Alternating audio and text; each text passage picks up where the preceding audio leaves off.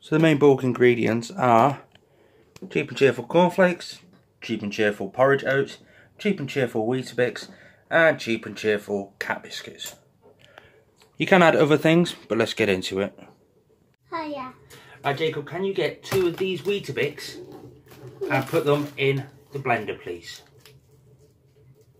Oh, there we go. Break it up good and properly. Good boy. That's it. Can you get me another one?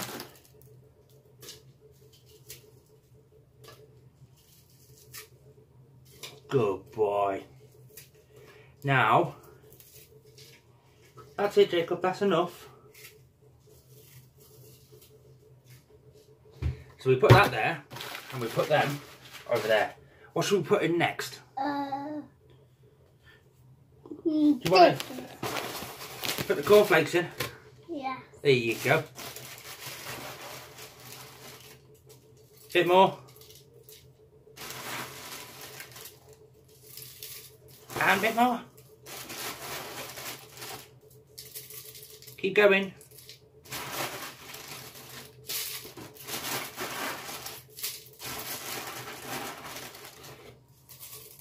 Yeah, and a bit more. That'll do. So that's the Weetabix and the cornflakes added. Next, These oats. oats. I love to help with you, Daddy. You do. I put my hand in. Put your hand in and put some oats in here. Good boy. bit more. Loads more. My hand's getting really cold. Is it? Yeah. Bit more.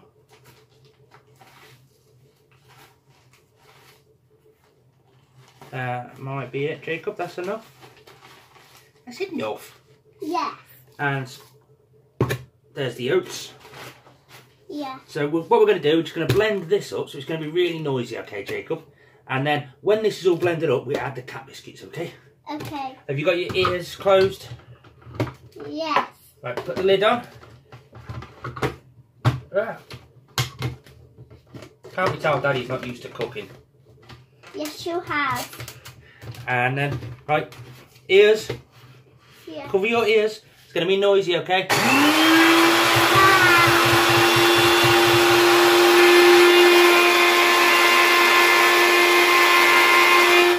Now, that's that all done. Let's show everybody. There, that's what it looks like now. So then, do you want to pour the cat biscuits in? Yeah.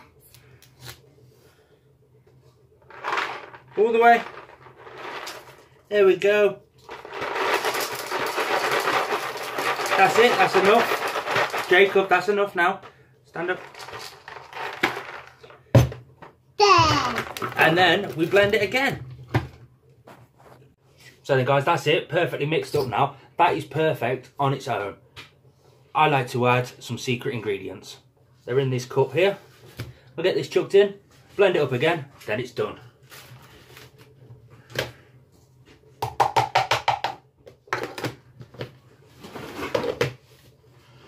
Cover your ears.